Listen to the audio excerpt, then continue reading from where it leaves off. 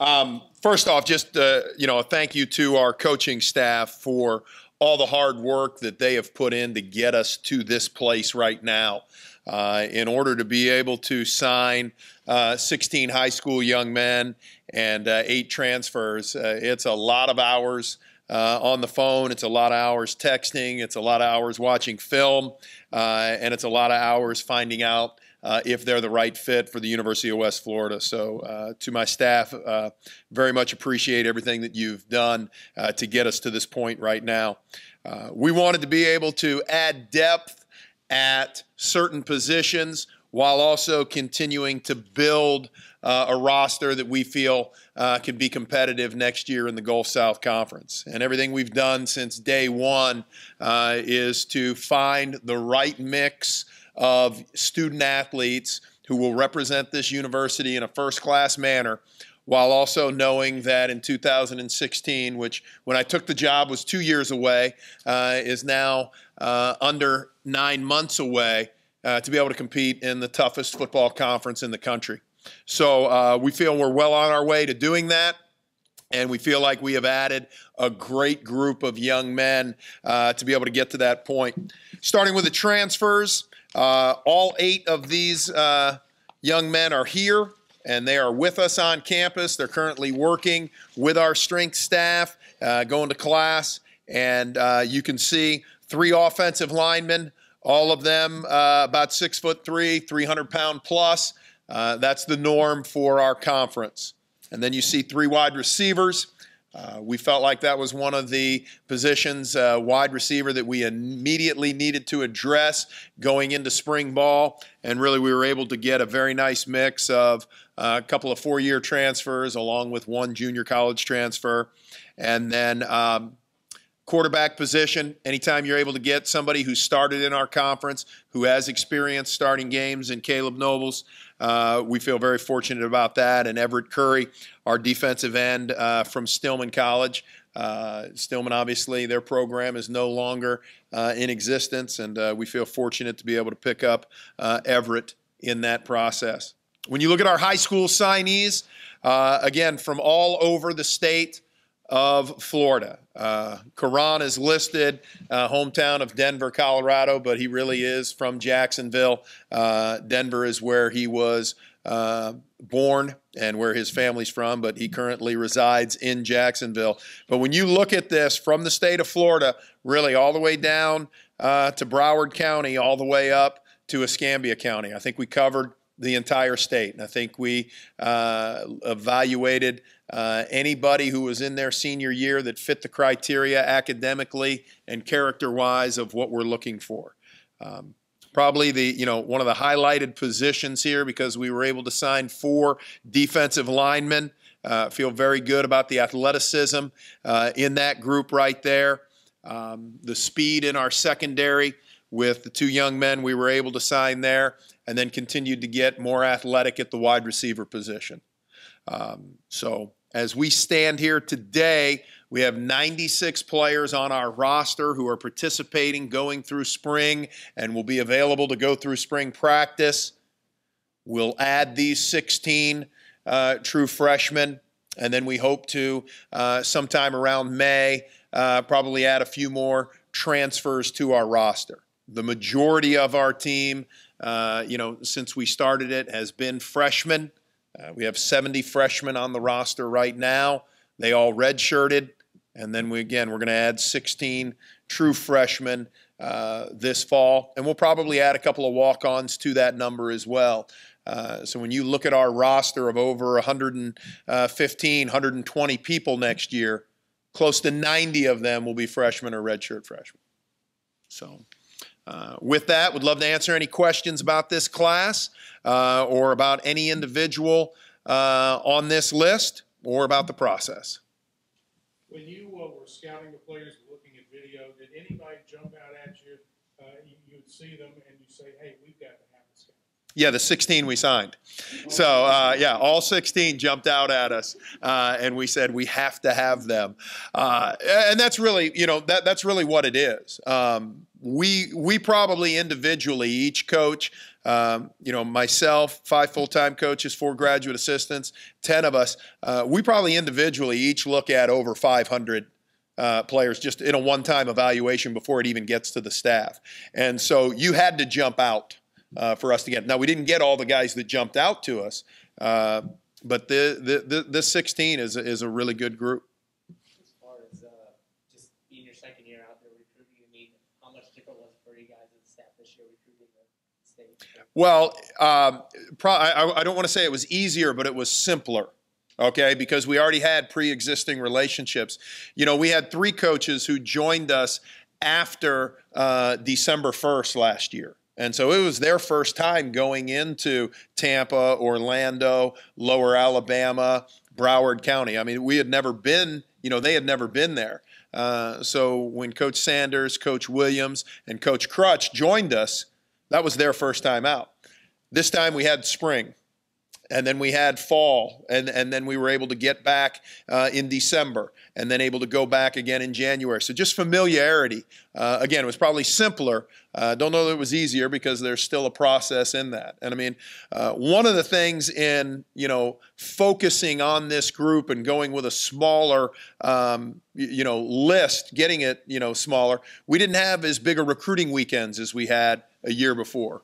Uh, last year, we were probably somewhere between 15 and 25 at each recruiting weekend.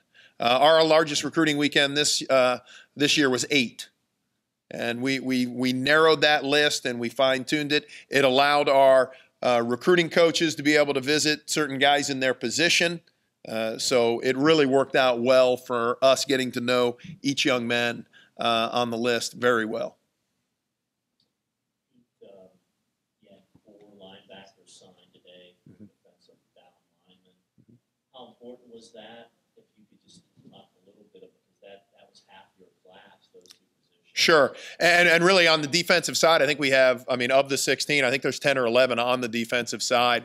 Uh, and uh, we've really kind of taken the best available approach. Uh, you know, who's the best person on the board and uh, who do we have the best opportunity uh, to get? And so with those defensive players, we feel like we really uh, gave ourselves a good shot in the arm uh, with some very, very good uh, athletes. I think from the back end standpoint, uh, we added a lot of speed and athleticism in our linebackers and our secondary. And then from defensive line, uh, we we just got quicker, uh, and with Daryl, we got bigger. Uh, so I mean, we kind of hit everything that we were looking for uh, from a freshman defensive class. One of your uh, linebackers, I, I just got to meet Sean Showers, of Pine Forest, six five, he played defensive end, but he said, you know, you all want him as an outside linebacker. Uh, when you stand next to him, you can kind of see what he might look like two years from now. How, how about him and what he might offer you, because he's a big guy. No, he really is, and and Kashan, I mean, very good athlete as well. And you just like you said, you look at him and the amount of space that he's going to take up. He'll play uh, our boundary linebacker, which does rush and uh, you know drops into coverage uh, at times, but he really does take up a lot of space. And he was at our camp and did a great job. We were able to track him obviously all season long. Uh, saw him play live a couple of times. I think uh, most guys on the staff had the opportunity to do that, uh, and really feel like he's a great fit uh, for what we're doing. And we think his best is in front of him. Six foot five, 201, 210 pounds, somewhere in that range right now. Um, and, you know, uh, we, we think he can easily be 225 at some point in time uh, and just continue to get better. So uh, we're very excited that he chose uh, the University of West Florida and to be a part of our program. How important was it to bring in an experienced quarterback, you know, not one that plays this level, but that has playoff? Well, I think it's huge. Any of the transfers that we bring in, and uh, quarterback obviously is a position where uh, you know you have to have some knowledge of how the process works.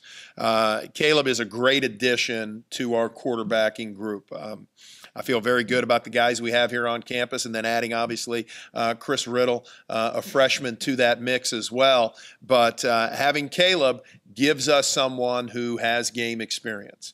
and that's really with, with all the other transfers as well. We, we, we have, I think, except for the running back uh, and tight, well, I think we do have a transfer at tight end. For, for the running back uh, position, I think we have a transfer at every other position, which just gives that position group, uh, you know, a little bit of a little more wisdom, a little more no, a little more knowledge as to how to prepare and what that process looks like. Did it help the recruiting efforts this year that uh, you could go out and now tell players, if you come with us, you'll be in uniform this fall instead of being a practice year? Well, I think there's there was a lot of pluses to last year's recruiting class because they were the first ever. They uh, were the first football players on campus, and they had the opportunity to really kind of establish the tradition uh, of what our program can look like in the future. Obviously, the uh, lure of being able to play immediately helped in this class. Uh, they did not have to wait. They did not have to redshirt. Doesn't mean all of them will play, and doesn't mean we will not redshirt some of them, uh, but I do believe that helped. And what was really probably the best selling point uh, of the whole process was the fact that we had players who were here and could talk to the recruits and tell them what it's like to be coached by us. Last year, all those recruits had to believe us that we were good guys and that we knew how to coach. Okay. This year, we actually had players who could back that up, uh, and that you know that obviously played huge dividends when talking to parents and kind of saying, "Hey, this is really what they're like, and this is really how they do things." You were able to recruit players from Miami, Naples, Orlando, Jacksonville, all through the Panhandle, Tampa, Port, New Port Richey. I mean, you, you all have been everywhere. And is it, is it, how great has it been to, to make those inroads so quickly in the entire state? Uh, You, you, you and your coaching staff has, have covered every part of the state, really, and signed players from every part of the state. Well, no, it's it's been it's been a great process, and I mean, what happens? I mean, just you know, first off, I've got great assistant coaches who do a phenomenal job when they walk into the high school. So now they've got somebody who's coming in representing the University of West Florida, representing our program. Uh, and when they do that, they do a phenomenal job doing it. And so the first impression of what is West Florida football going to be like uh, is a very professional assistant coach walking in there uh, representing our program uh, in an amazing manner. So that that right there helps us uh, and helps me be able to uh, then be able to talk to them about what the future of our program looks like. And we've been able to be in, uh, you know, I don't know how many high schools are in the state, but we've been in a lot of them. And we've been able to make great connections. And we're building the trust that needs to take place in this recruiting process. A coach needs to be able to say, uh, I really trust the coaches at the University of West Florida, and I feel like if I send my player there, he's going to get uh, a fair opportunity and he's going to have a great experience. Now that we have players and we've gone through a fall and we've been able to build that, they're starting to see that and then also how we conduct ourselves out on the road and how we you know how we treat the you know the players that we're recruiting so i feel very good about what we've been able to accomplish over the course of you know about two years ago i was hired uh, you know in order to be able to make this what it is right now uh, and for us to be able to be in this place where you know we have uh, great connections with a lot of high school coaches and you know they're contacting us right now would you be interested in this guy as a walk-on? Would you take this guy? And then the other thing that's happening is hey we got a guy who went away and he's not happy. Would you guys be interested in talking to him about transferring so all of that is because i have great assistant coaches who do a phenomenal job representing our university I guess one thing, you know, you, you were able to show boosters today the, the football field out there, and the significance of today is really, uh, besides signing day, is exactly seven months. September third, you're gonna be playing, and I just, can you speak a little bit about that? I mean, it's, it's here now. You're, you you know, you're only seven months away from playing your first game. Well, no, it is here, and you know, um, when I got here, Dave asked me to put together kind of a timeline of things that are going to need to take place, and what are some of the things that you see playing out. Uh, and I was looking at that list the other day, And you know, when you get to uh, January of 2016, you know, my comment on it was, you know, now we're on the clock with everybody else. you know, all that stuff we did before, the uniform, or hey, let's show the helmet, and you know, hey, let's have our first practice. All that's now we're on the clock with everybody else. And and again, uh, our objective and our vision for this program was, you know, we're not looking for guys to be starters at the University of West Florida. We're looking for guys to be starters in the Gulf South Conference, uh, and we have held to that in every every person that we've tried to bring into this program. Can they fit that mold, and will they have that opportunity at some point in time? Uh, and you know that, that's why I feel great about the guys we've signed uh, and who we have on our list. And then to be able to now show some physical progress with the university changing and the landscape, you know, uh, developing into we've got our field. Uh, we've got a place where we can put a building. We've got the opportunity to now show people what our future looks like. Uh, you know, it was one of the fun conversations with Dr. Bense today.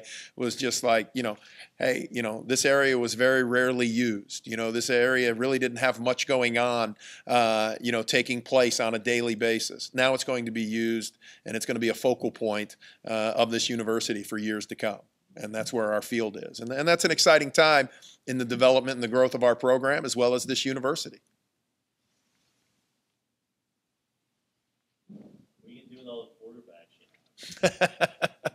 well, uh, you, you, know, I think Ohio State, you know, proved that you know if you're three deep, you got a chance. Uh, you know what I mean?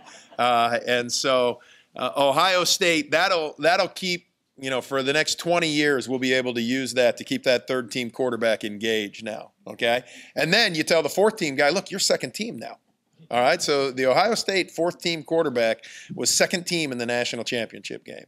Uh, so we'll have great competition there, and that's really what we want at every position. And I, and I don't think you can uh, ever uh, not have enough competition, really at any position, quarterback position, you know, falling right into that category. We need each guy playing at his best. One of the things we tell our players is we're gonna, you know, we're gonna watch your highlight film, and if we like your highlight film, then we're gonna watch a game uh, to do a full game analysis of you. But we're gonna hold you to the highlight game or the highlight reel uh, expectation.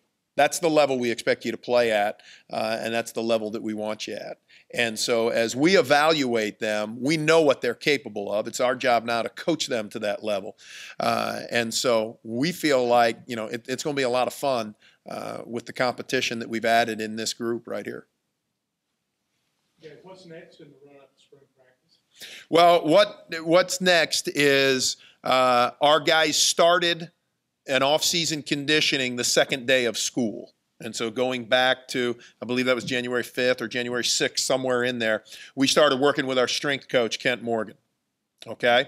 And we have nine weeks of continuous off-season conditioning, weight training, running, agility drills in preparation for spring ball. We go on spring break uh, and then when we come back from spring break, which I don't have the calendar in front of me, I think it's like March 22nd, somewhere in there, we will start spring ball. And we will have 15 practices, which will lead up to the spring game, which will be April 16th, which is a Saturday. And so we've got a lot of work to get done uh, from this point until March 22nd or March 23rd, whatever that date is, uh, to get our team ready. Uh, great news is, I mean, now we've got the turf field to be able to uh, go out there. I mean, a day like today would keep us from going on the grass because it, you know, can't handle that amount of water. Uh, turf field, we're able to go out there and not miss a beat in anything that we're doing. All your practices on the turf field. All the practices. I mean, we will use the turf field for every practice. Um, It'll just depend on, you know, it may be one side of the ball or it may be this phase of the practice, but we'll be on it every time we're out there. We'll be, you know, and uh, obviously if, you know, we're not on the whole thing, the kickers will be out there kicking field goals. And, you know, one, one of the advantages, if, I, if, I'm a, if I'm a basketball player and I want to go shoot a free throw, all right, every court has a free throw line painted on it, a half court line painted. You know, I know where the three point line is. If I'm a football player and you don't have a turf field, there are no lines unless somebody's painting those lines.